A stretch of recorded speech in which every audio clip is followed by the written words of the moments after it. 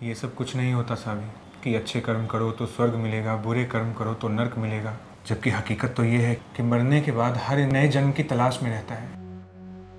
वही अदाएँ वही नज़ाकत बिल्कुल नहीं बदली हो तुम। कैसे थे कहाँ थे? पूरे दो साल हो गए सावी। सब ठीक हो जाएगा आदित्य। मरने के बाद भी कोई वापस आता है क्या? तुम भी तो वापस आए हो। आदित्य ज़िंदा है और वो आज भी मुझसे मिलने आया था। ये तुम्हारा सिर्फ़ बहम है।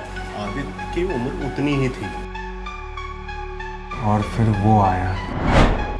ये तुमने कैमरा कब लगवाया? हमारी शादी हो गई। हम शादी करने वाले हैं।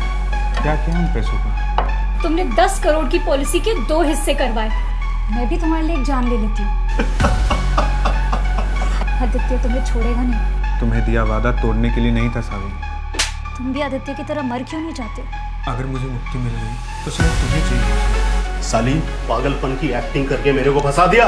मेरे जैसे पुलिस वाले को कौन मारेगा? आदित्य तुम आ गए।